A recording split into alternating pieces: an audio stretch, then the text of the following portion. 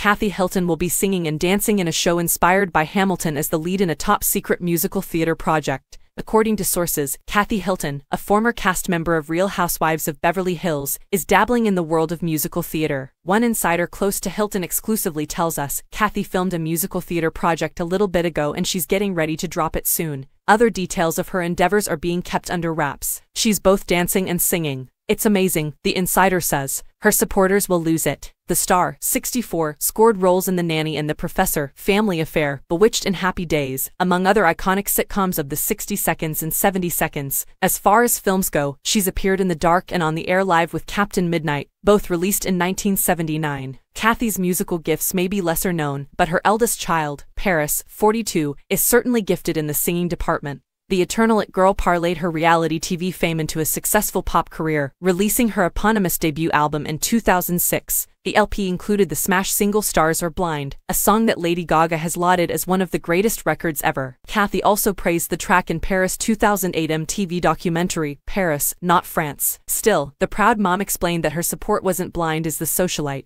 who maintained a close relationship with the late king of pop, Michael Jackson, for years, has a refined musical palette.